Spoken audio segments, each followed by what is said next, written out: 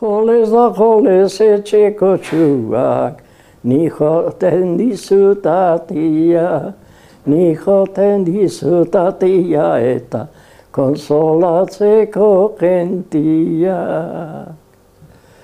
Etxeko andra marixia, izango dizute gisa.